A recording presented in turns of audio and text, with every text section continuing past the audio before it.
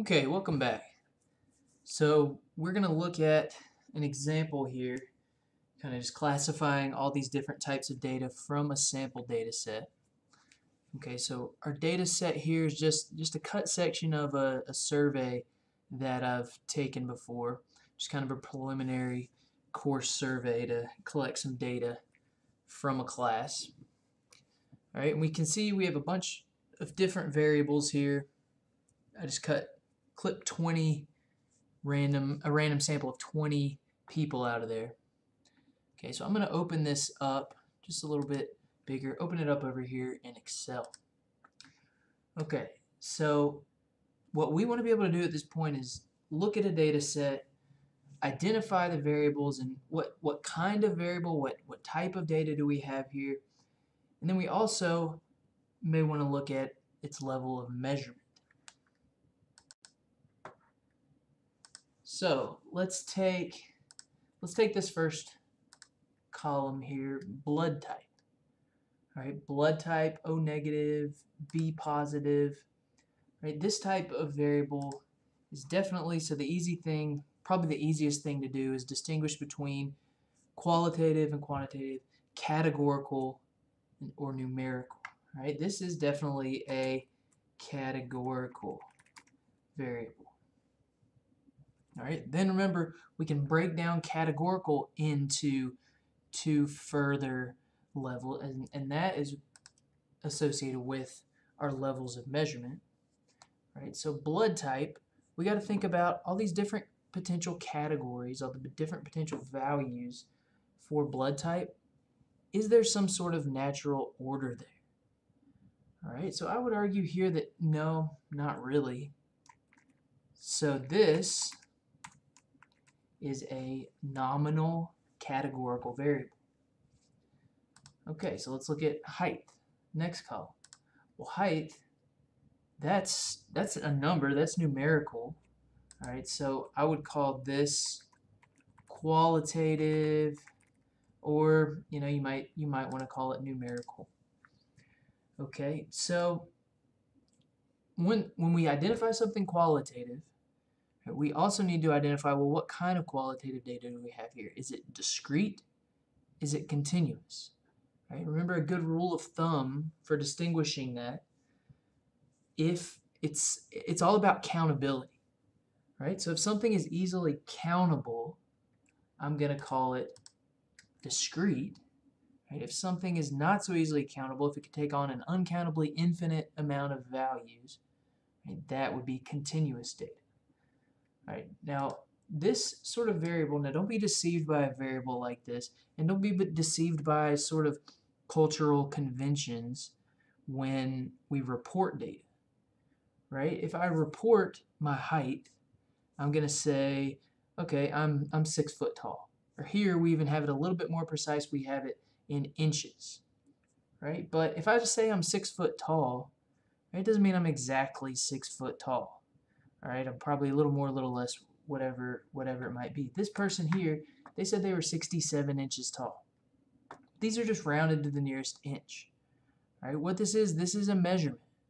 Right, this person could be anything. They're they're closest to 67 inches because they've rounded. Right, but this is a measurement. This is continuous data. All right, so I can't look at someone I can't just look at somebody and count how tall they are, how, what their height is, right? That's just something I would have to measure. And if I'm going out and measuring heights, there's an infinite amount of potential heights that I could get out there in the world. The only thing I'm limited by when I'm working with con continuous data is the precision of my measuring instrument and how my data is reported. All right, so let's think about the level of measurement here right? Well, we have, it's certainly not nominal or ordinal, right? It's not categorical. So we're working with interval or we're working with ratio, right? With height, even though there are different conventions for height, you know, such as inches, centimeters, meters, whatever that might be, there is a true zero for the height of something, right? So this would be on our ratio level of measurement. So now let's look at our next column.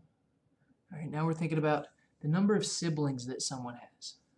All right, we see some people have no siblings, one sibling, one person here has four.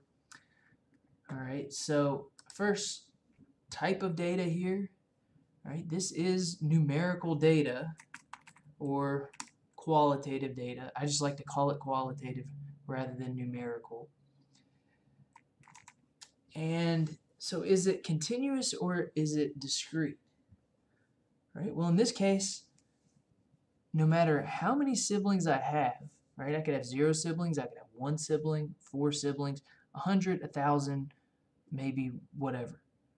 Right? No the point here is however many siblings I had, even though there's not necessarily an upper bound on my variable here, however many siblings I have, right, well, I could count them. Okay, so it is countable. So this one is qualitative and discrete. So again, what's our level of measurement here?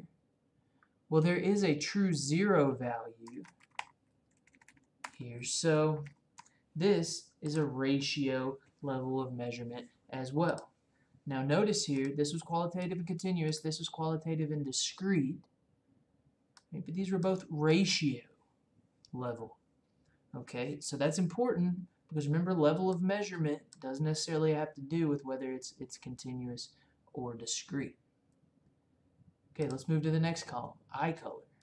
Alright, this one's easy, categorical, right? When, when something's words, it's pretty obvious. It's going to be categorical. Our level of measurement, is it nominal? Is it ordinal? Right, there's no real natural order to the number of categories here, or to the arrangement of categories. There's no reason if I were to write these out, I should list brown before blue or, or green or whatever. Alright, so this one, nominal as well. Alright, our next one. Your year in school. So we got some juniors, some freshmen, sophomore, and so on. Alright, again, it's words, categorical, that's easy, but is it nominal or ordinal? Now if I were to arrange these categories, there is a natural order to it, right? Freshman, sophomore, junior, senior. Okay, so this has an ordinal level of measurement.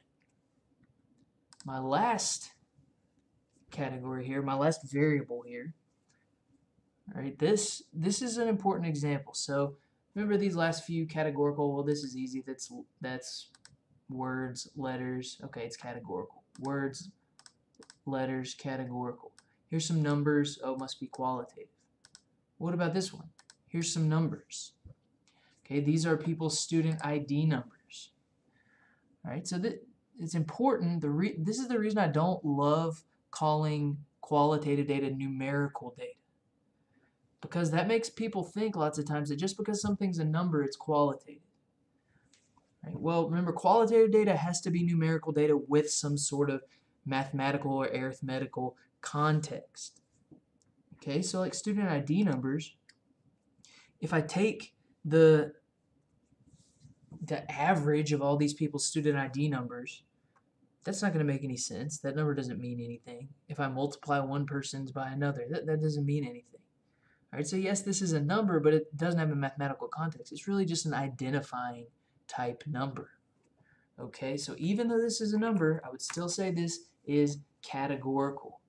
Now, most of the time when you have an identifying type number, ID number, social security number, whatever that might be, right, it's going to be categorical. A, a uh, number on a player's jersey, right, that number, it doesn't tell you any qualities about that person, right? It's just an identifying number. It's not a measurement on a person. It's not a count of something, right? It's just a way to identify somebody. Okay, so, but usually when I have a number that's categorical, right, numbers do have a natural order. So most of the time, a, a number categorical variable is going to be ordinal. Okay, so I hope that helps sort all of these definitions out. Thanks for tuning in, and we'll see you next time.